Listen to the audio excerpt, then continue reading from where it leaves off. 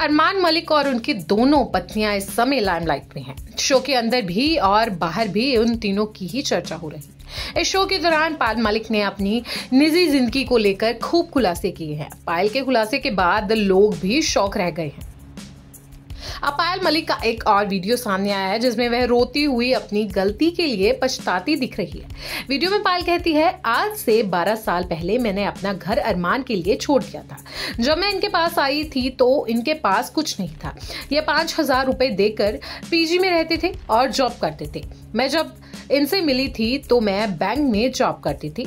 मैंने इनके लिए अपनी जॉब और घर दोनों छोड़ दिया। पायल ने कहा, इन्होंने अपनी सच्चाई दिखाई, अपने बारे में सब कुछ बताया कि मेरे पास कुछ नहीं है। बस मैं तुमको प्यार दे सकता हूँ और मैं भी उसी प्यार के भरोसे से सब छोड़कर आई थी। जब मैं आई थी, तब हम बहुत ज़्यादा गरीब थे। पहले पीजी में रहते थे, फिर दिल्ली में हमें भागना पड़ा, क्योंकि दिल्ली में मेरे परिवार वाले मुझे ढूंढ रहे थे। न्यूज़ में दिखाया जा रहा था कि गुमशुदा की तलाश इसलिए हमें भागना पड़ा।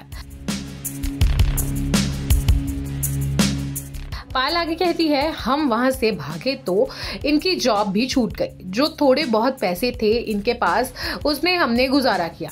फिर मैं बहुत बीमार हुई, जिसके बाद प्रेग्नेंट हो गई और ऑपरेशन हुआ। मैंने अपनी ज़िंदगी में बहुत दुख देखे हैं, लेकिन वो दुख मैं झेल गई, क्योंकि मुझे पता था कि मैं इनका सहारा हूँ और ये मेरा सहारा है। लेकिन अब मुझे पता है कि मेरे अलावा इनका एक और सहारा है। अगर मैं ना भी रहूँ तो ये उनके साथ ज़िंदगी गुजार सकते हैं। बस मुझे यही सोचकर रोना आता है कि मैंने इतनी बड़ी गलती क्यों की?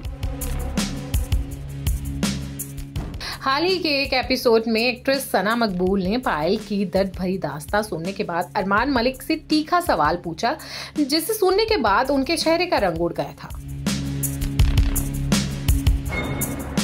अरमान मलिक से सना मकबूल कहती है, रोल को उल्टा कर दो, अगर पायल किसी आदमी को लाती तो क्या उस पर राज़ी रहती? इस सवाल को सुनते ही अरमान मलिक का मुँह लटक जाता है और वह कहते हैं, वो क्या उसे घर में लेकर रखती?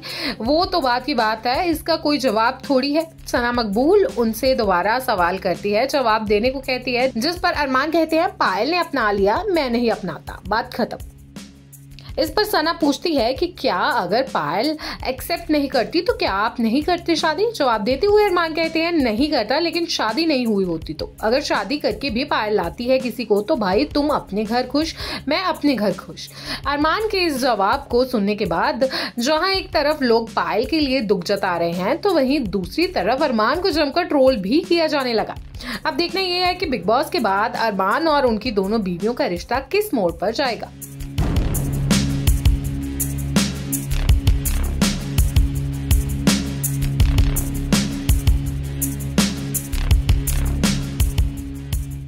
ऐसे ही और वीडियोस के लिए आप नारी के पेज को यूट्यूब पर सब्सक्राइब फेसबुक पर लाइक